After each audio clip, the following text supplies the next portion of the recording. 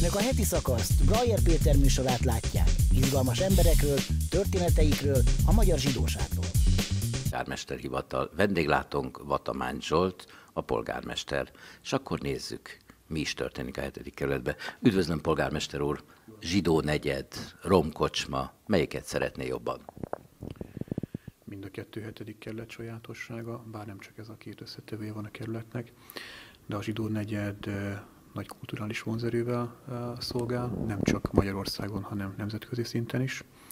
Ugyanez elmondható a romkocsma világáról, amelyen ma már azért a hetedik kerület belső részeit nagyrészt azonosítják. Én bármelyikről szívesen beszélek. Zsidó-keresztény párbeszéd, zsidós kanzen. Kezdjük talán akkor a zsidós kanzennél. Csányi utca 5 szám alatt van egy régi romos épületünk, amit jó néhány évvel ezelőtt, még az én polgármesterségem előtt lebontásra ítéltek.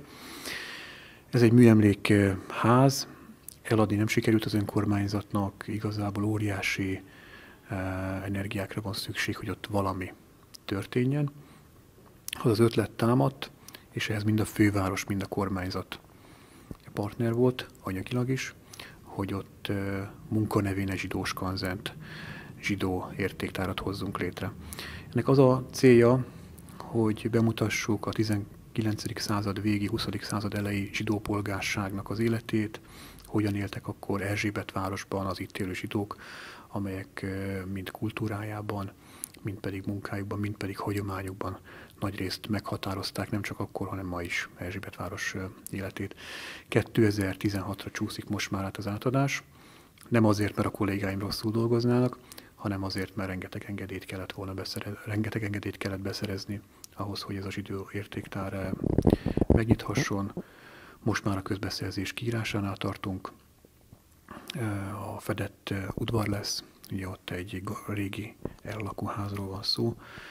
A udvart befedjük, és kisebb konferenciák, kiállító tér, kiállítások megnyitására is alkalmas lesz majd a hely. Én bízom benne, hogy egy nagyon komoly vonzerőt jelent majd Erzsébet városban.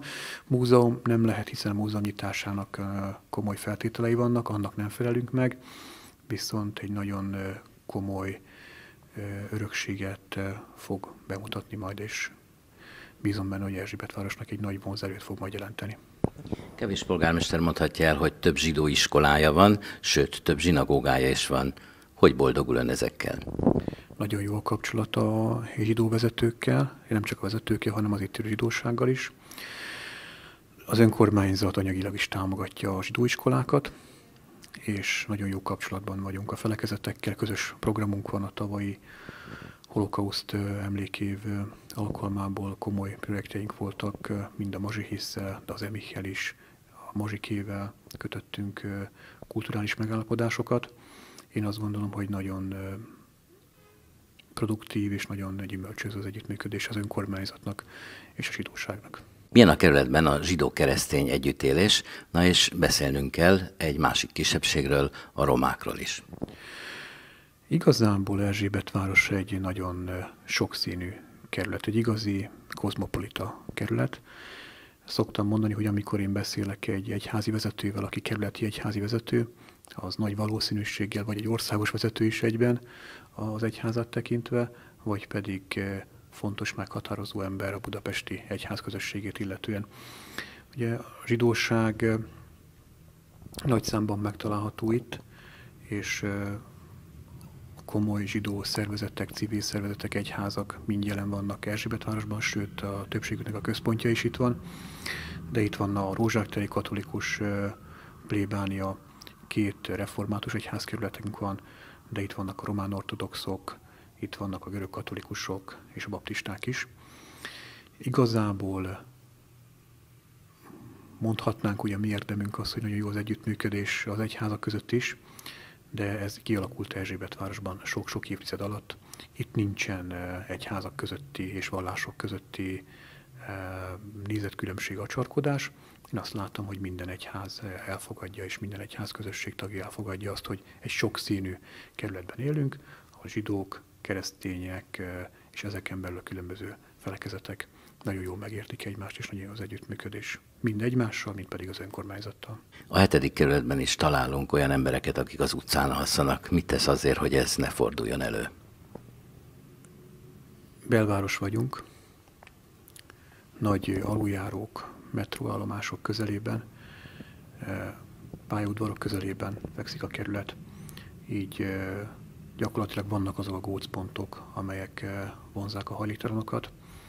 A kerületi önkormányzat nagyon komoly erőket összpontosít arra, hogy ezeket a problémákat tudja kezelni. Erőn felülvállalunk ebben a történetben. Helyi önkormányzatoknak, budapesti önkormányzatoknak vannak bizonyos kötelezettségei, de mi ezeken a kötelezettségen túlvállalunk. Azt el tudjuk mondani, ami cél is volt az elmúlt teleken, hogy Erzsébetváros utcái ne fagyjon meg senki, azért, mert nincs hova elmennie, nincs hova lehajtani a fejét, nincs egy olyan terem, nincs egy olyan épület, ahol meleg ételt kapna, vagy szállást kapna. Ezeket a célokat sikerül is elérni, ételosztások vannak, meleg sátrakat állítunk fel, és van olyan szerződésünk különböző szervezetekkel, akik ebben segítenek az önkormányzatnak. Mondom, belvárosi kerület révén azért komoly olyan gócpontok vannak, amelyek a hajléktalanok tucatjait vonzák, hiszen itt próbálnak meg nyilván alamizsnához jutni, itt próbálnak meg forgalmas helyeken valamiféle kiegészítő keresetet a koldulással összehozni, de ezt nekünk kezelni kell. Én úgy gondolom, hogy az elmúlt években sikerült kezelni. Nem ez a legproblémásabb kerület egyébként adottságai ellenére sem eh, hajléktalan ügyben. Budapest egyik talán legkisebb kerülete a hetedik kerület, mégis kultúrában lepipálja a többieket. Itt van például a Zsidó Nyári Fesztivál. Mit teszel azért, hogy ez idén 2015-ben is a Zsidó Nyári Fesztivál régi le- olyan legyen, mint régi neve és sikerei voltak? Nem csak az egyik legkisebb kerület, hanem a egészen pontosan a legkisebb kerületünk 2,1 négyzetkilométer. Valóban én szoktam mondani, hogy a kerületünknek vannak sajátosságai. Itt nem tudunk lakóparkokat építeni, nem tudunk gyárakat idehozni. Nekünk kultúránk van, helyzetünkből adódóan, történelmünkből adódóan, nagyon komoly kultúránk, nagyon komoly örökségünk, és vannak iskoláink, amelyeket támogatunk és az önkormányzat alapvetően kultúra és oktatás barát, illetve fejlesztés barát. A kultúra tekintetében nagyon sokat tesznek hozzá a zsidó rendezvények, ezek közül is az egyik legismertebb a Zsidó Nyári Fesztivál, amelyet az önkormányzatunk hagyományosan támogat. Az elmúlt évben egy megemelt összeggel támogattuk a Zsidó Nyári Fesztivált, ugyanis megkerestek a szervezők kb. egy évvel ezelőtt, hogy bizonyos források kimaradtak a megszervezés mm, a megszervezéskor, és kérték az önkormányzatot, hogy az eddigi összegeken felül támogassuk őket. Én képviselőtestület elé vittem a javaslatot, és a képviselőtestület úgy döntött, hogy a korábbinak a dupláját adja rendelkezésre.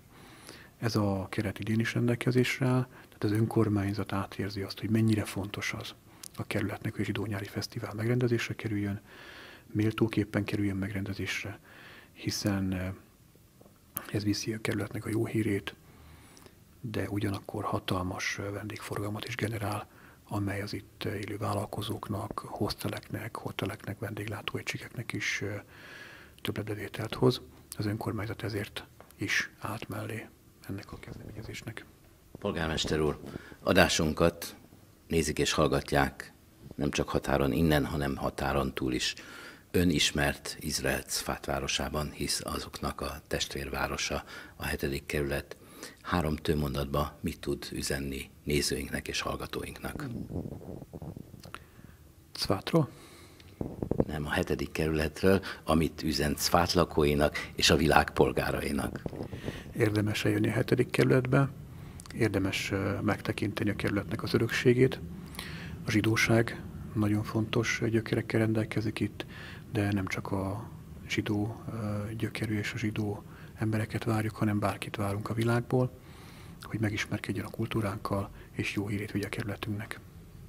Köszönjük, hogy rendelkezésünkre. Nagyon szívesen máskor is.